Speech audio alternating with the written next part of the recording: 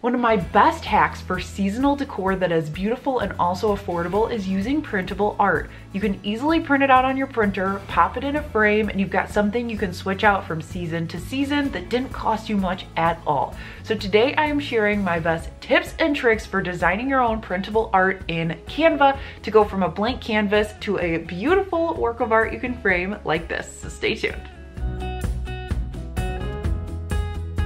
Is Whiskey and Whit. My name is Whitney and on this channel I love to share DIYs, budget home decor, a ton of tips and tricks to get a home that you love on a budget.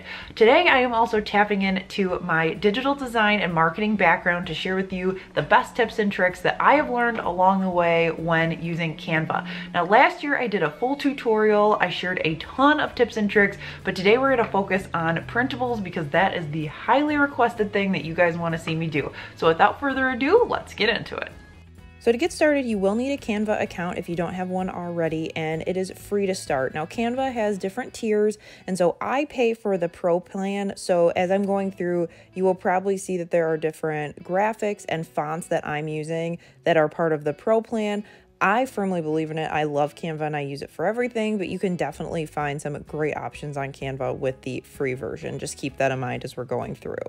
So once you log in, you'll be able to see on the left-hand side all of your different things with your account. You can select from a variety of different templates, and then you can also create a custom design. So I'm gonna do an 8 by 10. You can do pixels, inches, millimeters, or centimeters as your measurement. I just like to do 8 by 10. It helps with the conversion when you're gonna print it out.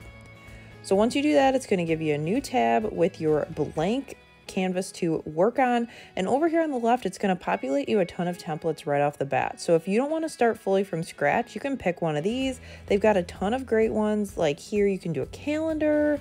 They've got different things like creating your own memo.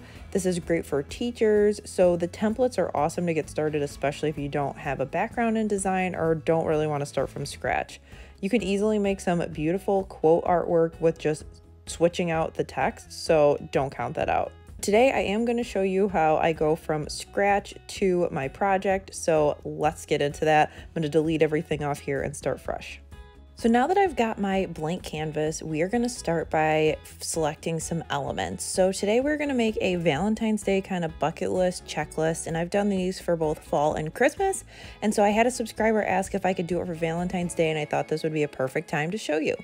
So I'm going to go over here to the left and select elements and then we're going to start searching. So my key is to use the word watercolor to get the images that I want. I'm going to search for Valentine's Day watercolors and make sure that that word's in there. You can also do watercolor illustrations, watercolor pictures, watercolor with whatever.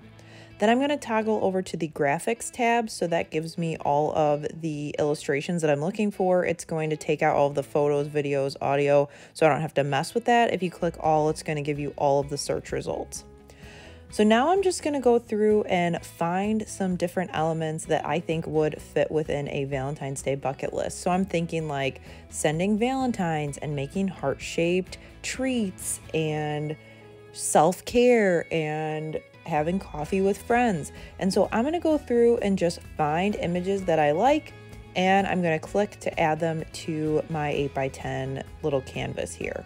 As I'm adding them, I'm just using the little white dots in the corner to size them. So then that way I can kind of figure out how many I need to fill my sheet.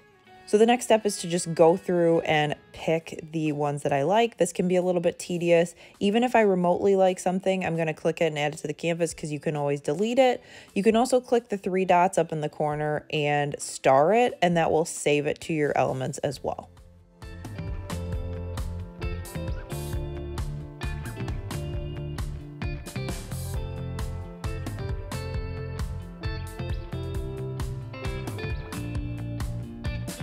Now that I've got a good amount of elements on my page, I'm going to start resizing and moving them around.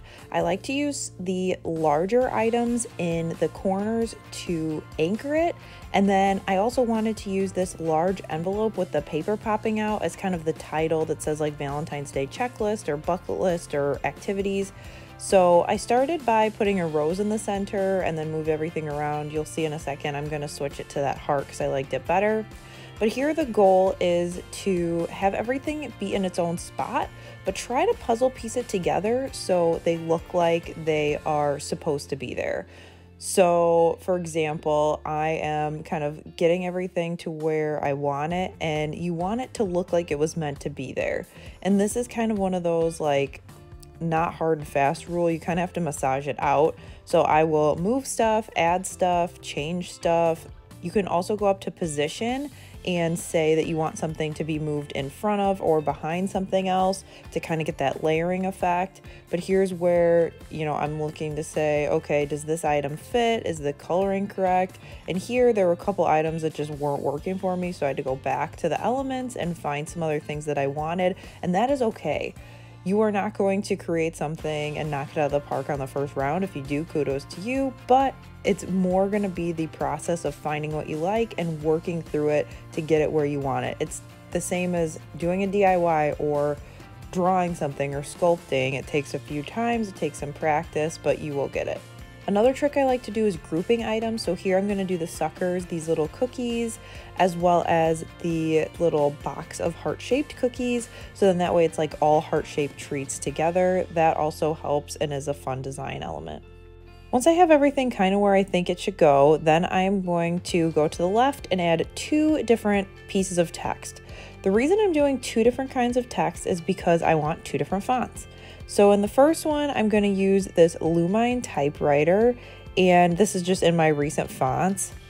The little crown is going to denote that it is a pro font, so that's something that if you have the pro account, you can use for free. If not, you can upgrade to it or just find a different font. So that is always an option.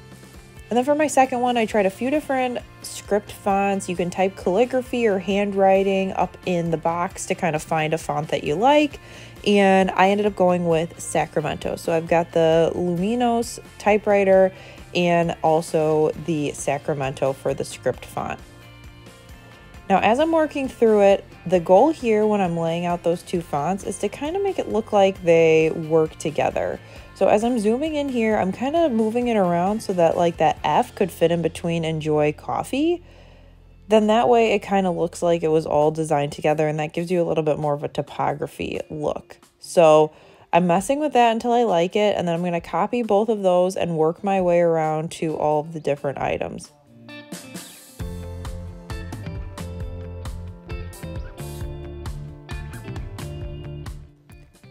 So I've got create a DIY project.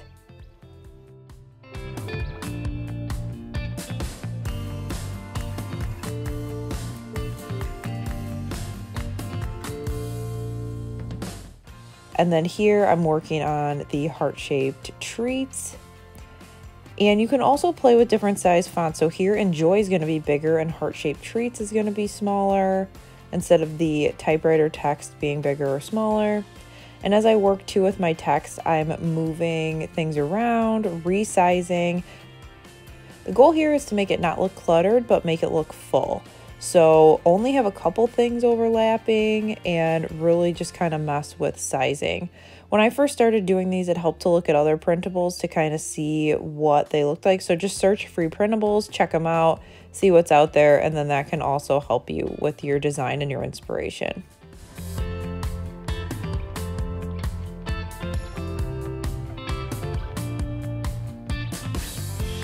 Also, don't be afraid to use the little tilt. So that's the little circle arrow. You can tilt things to the side. That adds a little bit more whimsy and it just makes it fun.